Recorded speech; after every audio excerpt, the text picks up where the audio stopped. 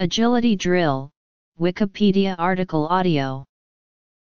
Agility drills are used in the aim of improving sports agility, which is the ability to change direction and accelerate while in motion. The ability to change direction while in motion is very important in many sports but especially in team and dual sports. For example, a footballer running back must be able to quickly change direction when he sees an opponent preparing to tackle him and must be able to quickly change directions when dribbling the ball, attempting to get back on defense, or when trying to beat an opponent to the ball. A tennis player must be able to quickly change directions when moving to a position where the ball is expected to go but instead finds the ball going in a different direction. Many more examples can be given but in almost all cases sports agility requires the player to quickly change directions in order to elude or stay with an opponent. The latter is especially important in football, basketball, and lacrosse when covering an opponent. If a player cannot elude his opponent he will not be able to fulfill his assignment or position task. For example, he will not be able to receive a pass or to break free of his opponent to execute or perform some important task. Direction changes.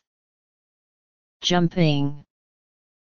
The quicker and sharper the changes in direction, the better the athlete can elude or stay with his or her opponent. The ability to make quick sharp changes in direction also enables the player to exhibit great quickness. In sports such as football there are many good running backs and receivers who can run fast in a straight line. But in order for them to be great, they must also be able to elude their opponents by changing direction quickly. If they do not have this ability they will never be great. Thus the ability to change direction quickly while in motion is critical for sports success. Because of this coaches have devised many drills to improve this ability. In general, these drills are specific to different sports but some of them are applicable to many sports. For example, tumbling drills are usually more specific to swimmers who execute a flip turn and to gymnasts who use some aspects of tumbling in their routines on the apparatus or in free exercise. Drills that entail jumping with turns in the air are usually applicable to basketball players and receivers and pass defenders in football but can apply to many sports in interest of strength.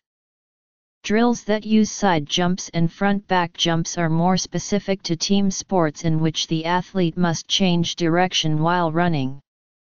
Drills that require jumping over objects is usually best suited for sports in which the player must leap over hurdles or players. These drills usually use some form of rope ladders, small or low hurdles, ladders, or small cones. The drills that use ladders, hurdles and cones have proven to be extremely popular and are now used extensively in many different sports by using these drills coaches take it for granted that the athletes will become quicker and faster in many cases, more explosive. However, close examination of these popular drills and how they are executed, shows that the actions involved in executing these drills is not specific to the actions that the athlete must execute in gameplay. Agility drills can cause a huge benefit to athletes if the drills duplicate or use the cutting action.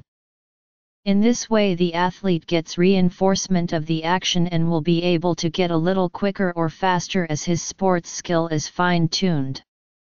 Being able to duplicate the key action that is involved in execution of the sport's agility skill is the secret to the success of any agility drill. When the drills are executed often enough there is a transfer of how the athlete executes the skill to gameplay.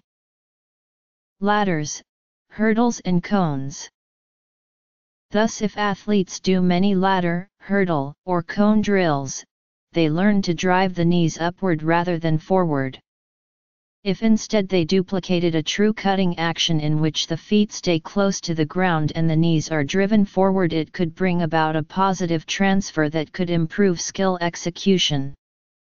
Practicing the cutting action in a drill would be much more productive. It is also possible to have coaches talk of developing fast feet with agility drills. Most often they use ladder drills in which you step over each rung and then stutter step two or three times before stepping over the next ladder step. You continue in this manner for the full length of the ladder. For variety they also have the athlete traverse the entire ladder sideways. Execution is basically the same in which the athletes drive the knees upward to go over each rung of the ladder. Also sometimes included are stutter steps in between which are supposed to develop faster feet. Cutting action However, the cutting action, which is the basis for running agility, is not a matter of fast feet, it is a matter of fast legs. One must be able to move the legs from the hips in order to move quickly or to execute quick cutting actions. In addition, the feet must remain close to the ground regardless of whether the step being taken is short or long.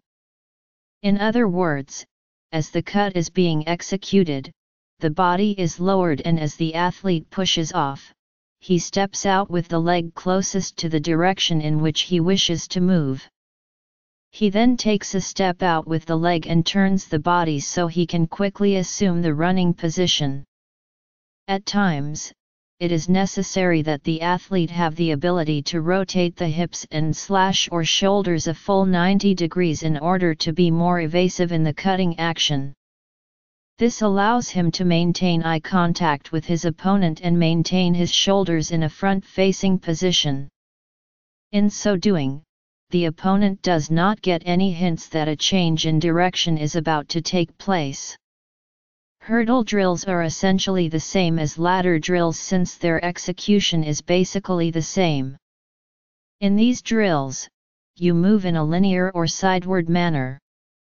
Cone drills however, are used mainly for side movements. In the drills, you leap sideways over a cone in one direction and then back in the opposite direction.